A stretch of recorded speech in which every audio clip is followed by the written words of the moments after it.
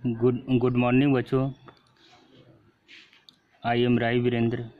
Class tenth का जो मैं पहला चैप्टर ट्रेंगल के बारे में कुछ बताऊँगा, जो आपके चैप्टर में हैं, टेंथ क्लास में है।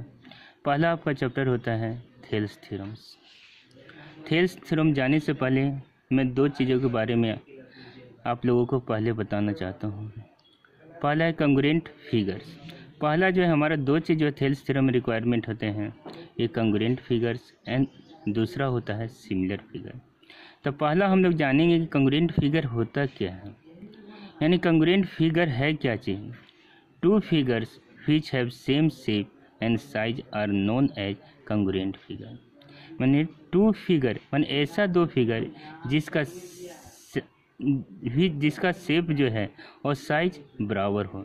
यानी कहने का अगर दो ट्रेंगल हम लेते हैं ए बी सी या ए बी सी यानी A B equal two centimetre B C equal three centimetre यानी A C equal to five centimetre दूसरा ट्रेंगल है पी क्यू आर अगर इसका जो है पी क्यू जो है two two centimetre P Q equal two centimetre Q R equal to three centimetre P R equal to five centimetre यानी A B equal to P Q and B C equal to Q R and A C equal to P R यानी exactly the copy of the both triangles are the A B C exact A B C is the exact copy is the exact copy of the triangle PQR so that we can say that a, triangle ABC is congruent to triangle PQR हम यहाँ जो practically इसका उपयोग करते हैं बच्चों यानी कहीं भी फैक्ट्री में हम जाते हैं तो कोई भी मशीन का कंपोनेंट हमको बनाना रहता है। तो इसके इस चीज़ का जो हमको पूरा ध्यान के रखना पड़ता है कि सिमिलर कंग्रेंट फिगर एग्जैक्ट अगर कंग्रेंट फिगर्स नहीं होंगे तो वे हमारा जो है जो है दूसरे पार्ट पार्ट में वह जो है मशीन में जो है या मशीन है उसमें वह फिट नहीं होगा। इसलिए हज़ारों हज़ार मशीन के पार्ट्स बनते हैं वह जहाँ उपयोग हम कंग्रेंट फिगर का ही करते हैं। कंग्रेंट फिगर का। हाँ बच्चों, अब हमें आपको जो है सिमिलर फिगर पहला मैंने आपको कंग्रेंट फिगर के बारे में आया, बताया। अब आपको मैं सिमिलर फिगर के बारे में बताऊँगा।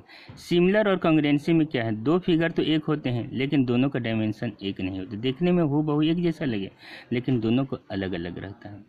यानी आप इसको कह सकते हैं geometric figure which have the same shape but different size are known as similar figures यानी आप देख सकते हैं एनी एग्ज़ाम्पल में आप देख सकते हैं any two line any two line segment are similar if five centimetre equal to A भी एक लाइन है जिसका डायमेंशन आपको फाइव सेंटीमीटर दिया हुआ है, जिसका लेंथ आपको फाइव सेंटीमीटर दिया।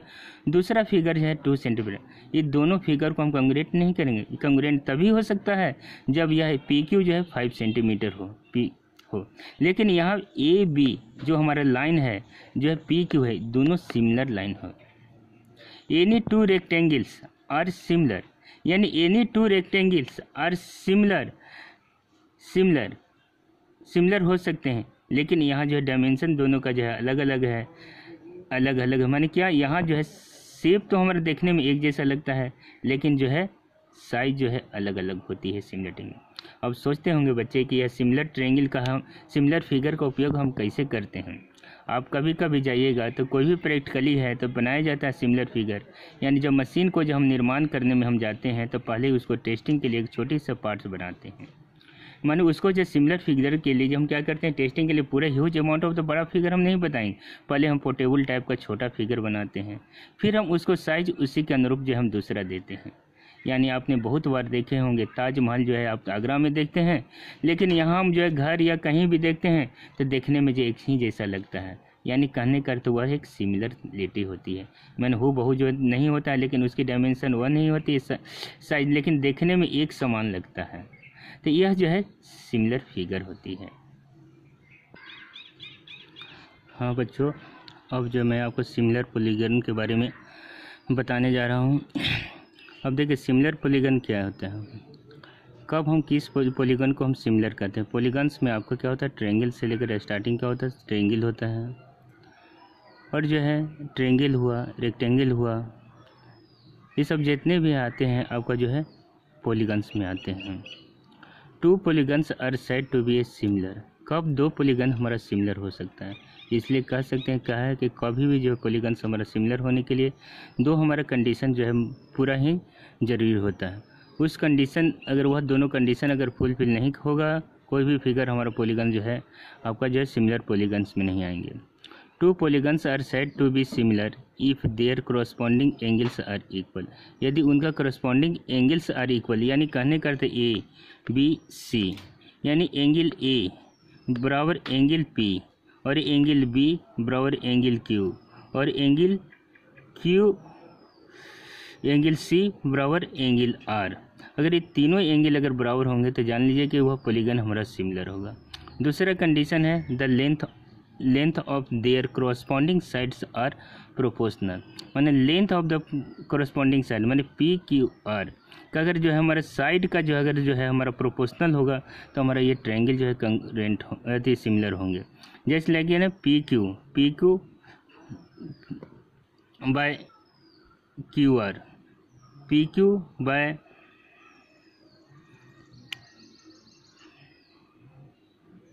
A B equal to Q Q R by B C equal to P R by A C हाँ बच्चों, अब मैं आपको थेल्स थ्योरम के बारे में बताऊँगा कि क्या थेल्स थ्योरम क्या है। जो थेल्स एक मैथमेटिशियन थे जो उन्होंने सिमिलरिटी के बारे में लोगों को बताया। सिमिलरिटी के सिमिलर ट्रेंगल के बारे में तथा उसके उपयोग के बारे में उन्हें प्रैक्टिकली रूप से लोगों को जो है इसके बारे में जो है उन्होंने व्याख्या दी, इसके बारे में कहा। According to the Thales theorem यानी कहते हैं कि थेल्स थ्योरम में क्या है? कोई भी त्रिभुज जो है, कहता है कोई भी त्रिभुज में उसकी एक भुजा के समानांतर अगर कोई रेखा खींची गए, खींची जाए, और यह वह रेखा, यदि त्रिभुज के अदर दो भुजाओं को दो विभिन्न बिंदुओं पर काटती है तो उन भुजाओं का जो है रेशियो जो है, अनुपात जो है, एक समान अनुपात में होता है। समान अनुपात में होता है। यानी कि कोई भी ट्रेंगल्स है, यानी ए बी सी एक ट्रायंगल है, इसके समानांतर ए डी ई एक जो है साइड खींची गई है। जो ए बी और ए सी को जो दो विभिन्न बिंदु डी और ई बिंदु पर काटती है। तो यानी कहने का अर्थ A D by D B equal to A E by A C होना चाहिए। इसी को हम थेल्स थ्योरम कहते हैं। यानी if a line is drawn parallel to the one side of a triangles to intersect the other two sides in a distinct point then the other two sides are divided in the same ratio अब यहाँ देखेंगे यहाँ क्या दिया हुआ हमारा इसमें दिया रहा है कि a line is drawn parallel to the one side of the triangle मैंने given that A B C एक triangle in which D E parallel to B C D E parallel to B C and D E intersect AB, AB and AC at point D and E respectively.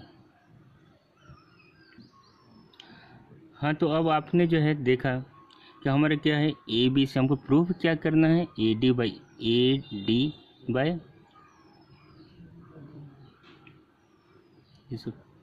A D by हमको proof क्या करना है? A D A D by D B A D by A D by D B D B A D by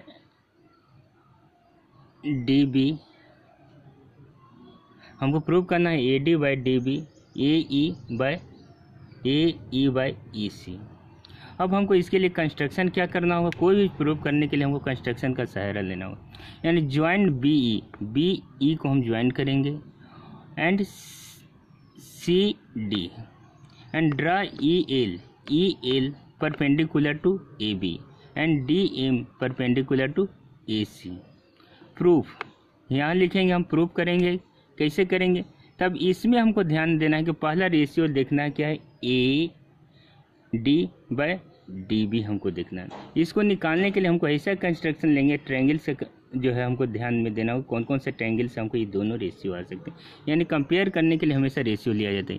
यानी हम पहला triangle लेंगे A D area of triangle A D E यानी A D E ये perpendicular L is the perpendicular line so that area is one by two A D into E L we know that area of triangle is one by two into base into height अब यहाँ लेंगे area अब दूसरा triangle हम क्या लेंगे?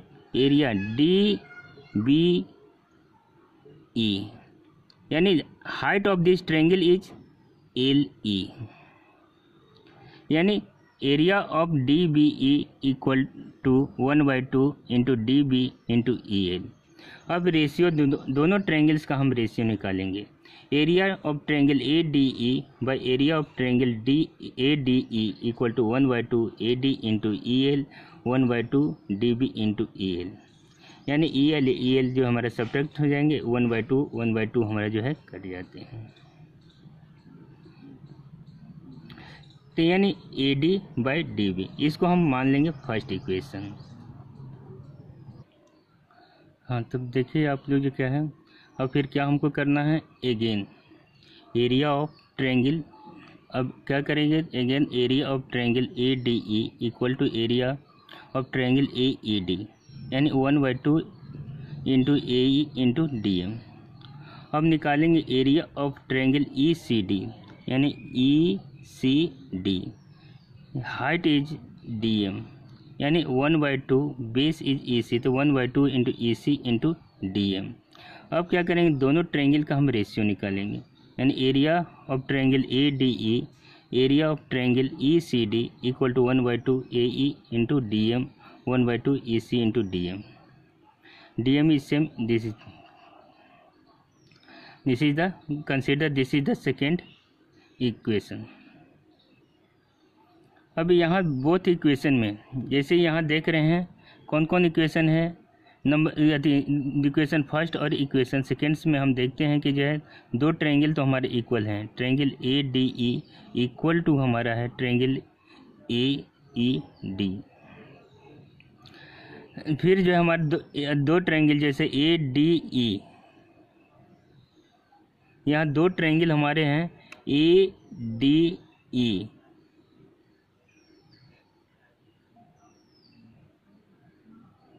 Triangle यहाँ हमारे क्या है? ट्रेंगल डी अब यहाँ देखिएगा triangle D B E and triangle E C D being the same base D E यानी same base D E and between the same parallel line line D and B C so the triangles area of the triangles is DBE equal to area of the triangle ECD माने कि area of triangle D B DBE D B equal to हमारे क्या हो जाएगा? Angle जो है area of triangle D B E D B E हमारा जो है D B